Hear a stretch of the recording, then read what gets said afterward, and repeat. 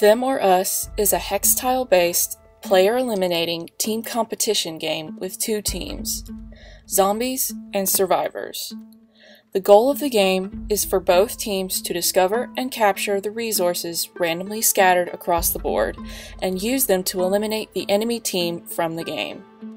The components of the game are as follows one game board, 64 map tiles, 60 material chips, 60 food chips, 6 base markers, 3 per team, 1 per color, 24 outpost markers, 12 per team, 4 per color, 30 pawns, 15 per team, 5 per color, 1 die, and 2 rule summary cheat cards.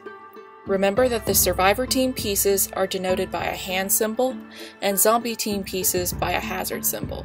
The first step to starting the game is to get 4 to 6 players and split them evenly between the two teams. If a player is unable to decide what team to play as, they may roll the die to make the choice for them. An even roll becomes a survivor, an odd roll becomes a zombie. If there are five players, the fifth player is automatically a zombie. Now the die must be rolled to determine turn order within the teams, remembering that regardless of order within the teams, the survivor team always goes first, followed by the zombies. First, have every survivor roll until each has a different number. The survivor with the highest roll will go first, followed by the other survivors in descending order. Now the zombies will do the same. Now the game can be set up. Place the board between the two teams, shuffle the map tiles, and randomly arrange them face down on the spaces on the board, making sure to keep the arrows on the tiles facing towards the end of the board with the darkened corners. Do not look at the face of any tile. Place the resource chips in separate chip piles within reach of all players. Allow each player to pick the color they want from those available to their team, and then distribute the following pieces to each player, making sure that all of a player's pieces are the same color and appropriate team. One base marker, four outpost markers, and five pawns. Teams may also elect to use a rule summary cheat card, but they are not required. Now each survivor, in order of priority, will take their base marker and place it on any map tile of their choosing, remembering not to look at the tile faces, and leaving at least two tiles of space between each marker. The zombies will do the same and place their base markers on unoccupied tiles, also leaving two tiles of space from all other markers. Once all players have their base markers down, every player will turn over the map tile they have chosen. It's time to begin the game proper.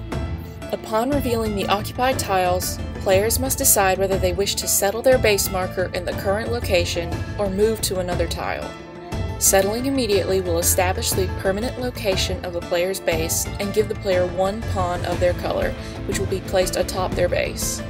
If the base is settled on a map tile that has resources, the player will automatically receive those resources, collecting the appropriate amount of resource chips from the chip piles. Settling will count as that player's turn and allow the next player to move. A player that chooses not to settle will spend their first turn moving one space onto any unoccupied adjacent map tile, remembering to reveal the newly occupied tile. Unsettled players can continue to move their base marker for as many turns as they wish and settle when and where they choose, though still keeping in mind the two tile space requirement. But know they will not be able to secure resources, fight battles, or produce pawns. Basically, they won't be able to progress in the game, and their only piece will be a sitting duck. Any unsettled base marker that is attacked by an enemy pawn will be immediately captured without need for standard combat procedure, which will be covered later. This will eliminate the marker's owner from play permanently and provide the conqueror with a new base marker to settle, still with two tile space limitations, as a second base. Captured base markers must be flipped over to show their new faction, and they do not provide a free pawn upon settling. Once a base marker has been captured, it will be completely eliminated from play upon a subsequent capture attempt by the original owning team if it remains unsettled. Once pawns are on the field, the game really begins. Each pawn has one action per turn, and a player's turn consists of making all of their pawns perform actions. The actions pawns can perform are as follows. Moving. A pawn can be moved one space onto any adjacent tile as long as that tile is unoccupied by any other pawns or by any enemy bases or outposts. Friendly structures can be occupied. If the new tile is currently face down, the player must reveal the face of the tile upon moving to it. Idling. A player can choose not to have a pawn do anything for a turn. Idling can be done anytime and anywhere and can function as a simple turn skip, but is also used to build an outpost. Building an outpost consists of idling one pawn on a desired map tile for three turns. Once the three turns are complete, the player must remember to keep track of this themselves. The player that owns the idling pawn now places one of their outpost markers on the tile and receives any resources denoted by the tile face. Remember that performing any other action will reset the pawn's idle count. This includes participating in combat, no matter the outcome, which cannot be skipped.